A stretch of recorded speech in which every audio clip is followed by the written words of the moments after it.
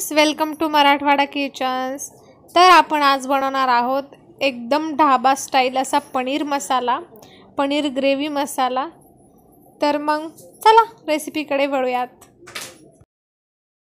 एक दोन चमचे दोन चमचे इथं मी बेसन पीठ घेतले तर आता मी हे बेसन पीठ याच्यात टाकणार आहे. जास्त बेसन पीठ नाही वापरायचं आपल्याला. भाजी चांगली नाही होत. एकदम हलकंसं आपण याला थोडस हलकसर आपण एकदम भाजून घेऊया त्याला. याच्यामध्ये भाजताना आपल्याला बिलकुल तेल वगैरे अजिबात टाकायचं नाहीये. ओके?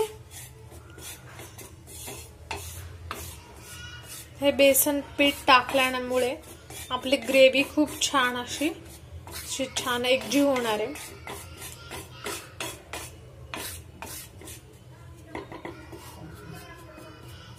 थोडस बेसन आपण असं बेसन भाजून घेणार होत आपण. तर आता मी हे बेसन भाजलेलं काढून घेते एका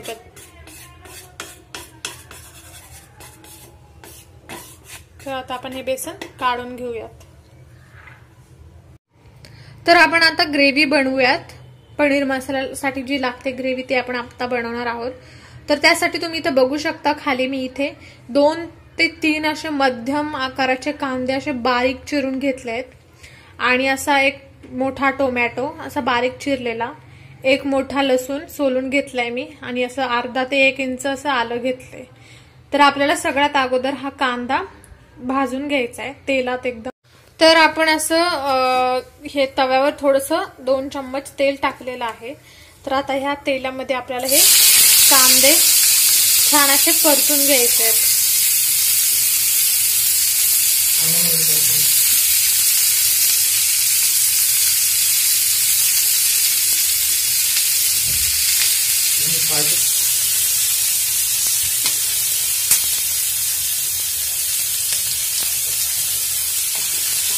तर आपण आता हे छान असे कांदे एकदम गोल्डन ब्राऊन होईपर्यंत आपण याला तेलात छान असं परतून घेऊयात.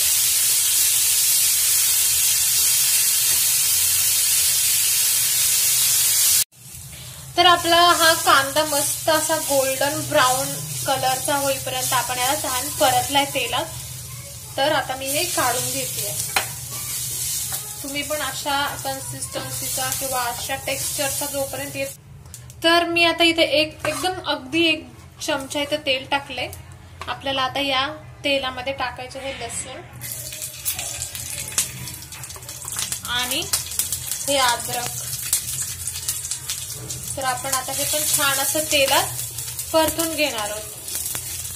तुम्ही असं तेलामध्ये हे भाजल्यावर खूप छान फ्लेवर याचा आपल्या ग्रेव्ही मध्ये उतरतो अगदी दोन ते तीन मिनिट ह्याला असं छान भाजायचं.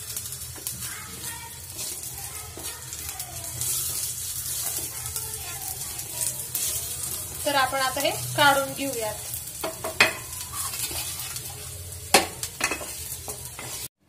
तर मी हा असा एक मध्यम आकाराचा टोमॅटो घेतलाय. तर आपण आता याची प्युरी बनवणार आहोत. आता याची प्युरी बनवते. तर तुम्ही इथं बघू शकता ही आपली प्युरी मस्त तयार आहे. तर आता ही प्युरी मी एका वाटीमध्ये काढून घेते.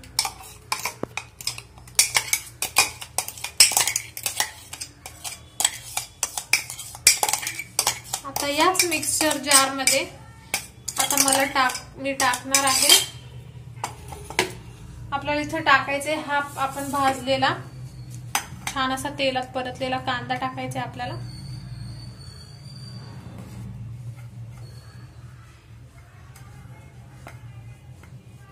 आणि हे लसूण आणि अद्रक जे आपण तेलात परतलं होतं ते पण आता याच्यामध्ये आपण टाकणार आहोत. आणि आपण छान असं फिरवून घेऊयात आता. तर आपण आता या कढईमध्ये टाकणार आहोत. कढई गरम करायला ठेवली आहे मी. या कढईमध्ये आपल्याला दोन चम्मच दीड ते दोन चम्मच मी तेल टाकते. आणि याच्यामध्ये आपल्याला टाकायचं आहे जिरं. आता मी याच्यामध्ये टाकते हे जिरं.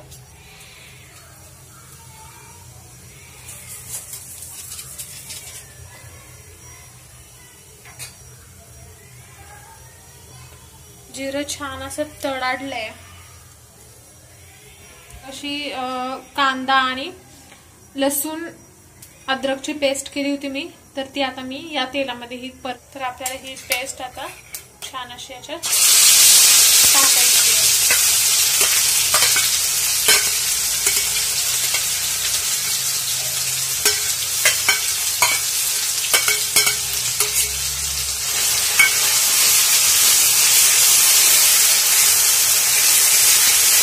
गॅस बारीक मध्यम करायचा. आपल्याला पहिलं असं छान अशी ही ग्रेव्ही हलवून घ्यायची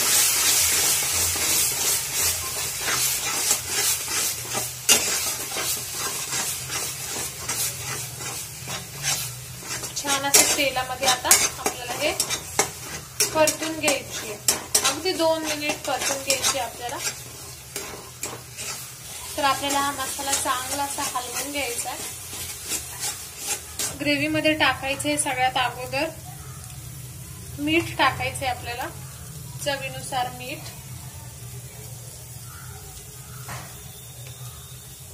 गोडा मसाला टाकायचा आहे. एक चमचा. आणि आपलं रोजचं जे तिखट आहे ते एक चमचा टाकायचं आहे. अर्धा चम्मच हळदी. आणि आता आपण छान असं मिक्स करून घेणार आहोत. आता आपल्या या मसाल्याला जोपर्यंत छान असं तेल सुटत नाही तोपर्यंत आपण हे मसाले असे छान परतून घेऊया तर तुम्ही जेव्हा हे तिखट मीठ सगळं याच्यामध्ये मसाले टाकल्यानंतर ह्याच्यामध्ये टाकायचे. हे जे आपण सगळ्यात अगोदर जे बेसन पीठ भाजून घेतलं होतं दोन चम्मच ते बेसन पीठ इथं टाकायचे आपल्याला. आणि एक अर्धा चम्मच खडा मसाला. तर ढाबा स्टाईल फ्लेवर येण्यासाठी मी इथं खडा मसाला टाकते. तर आपल्याला आता हे छान असं परतून घ्यायचे तर आपल्याला आता ह्याच्यामध्ये टोमॅटो प्युरी टाकायची आहे जी आपण मिक्सरमध्ये ग्राइंड करून घेतली होती. त्याची पेस्ट बनवली होती ती. प्युरी टाकून आपल्याला असं छान असं आता हे परतून घ्यायचंय. आहे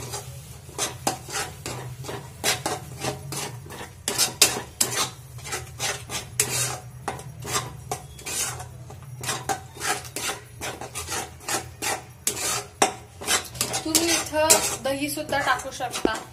या स्टेजला आल्यानंतर तुम्ही इथं दही सुद्धा टाकू शकता. दही ऑप्शनल आहे. हे पनीर मसाला. टाकायचा. दोन चम्मच पनीर मसाला टाकायचा.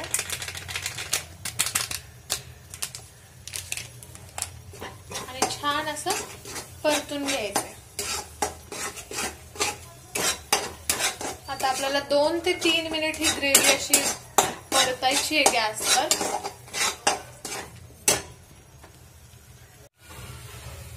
तर तुम्ही बघू शकता आपल्या ग्रेव्हीला असं मस्त असं तेल सुटायला सुरू झालंय. तर आपण असं छान अशी ग्रेव्ही आता मस्त आपली तेलात परतली आहे जेव्हा तुमची ग्रेव्ही अशी कढईला कुठेच लागणार नाही किंवा तुमच्या भांड्याला कुठे लागणार नाही ही अशी फिरेल आतमध्ये अशी तेव्हा तुम्ही तुमची ग्रेव्ही छान अशी म्हणजे शिजली आहे असं तुम्ही म्हणू शकता तिथे. तर तुम्ही इथं बघू शकता मी पनीर असं एक छान अशा आकारामध्ये आपल्या ग्रेव्हीमध्ये आपण टाकणार आहोत आता थोडस पाणी. जशी तुम्हाला कन्सिस्टन्सी पाहिजे अगदी तशा कन्सिस्टन्सीमध्ये तुम्ही अगदी थोडं थोडं करत पाणी टाका.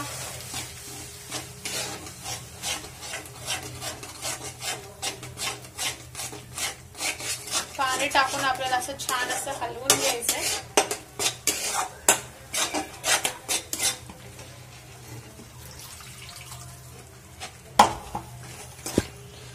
तुम्हाला जर जास्त ग्रेव्ही पाहिजे असेल तर तुम्ही पाणी थोडस कमी टाका.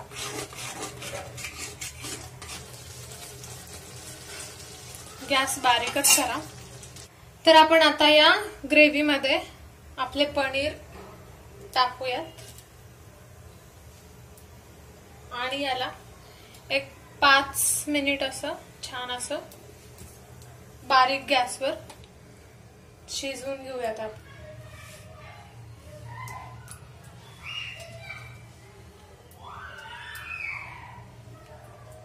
पनीर टाकल्यानंतर तुम्ही भाजीला जास्त हलवू नका. तर आपल्याला अशी एक छान अशी एक उखळी येऊन द्यायची आहे. पाच चार ते पाच मिनिट आपण आपली भाजी शिजवून घेतली आहे. तर आपण आता याच्यावर टाकूयात. थोडीशी अशी कोथंबीर वरून सर्व करायला.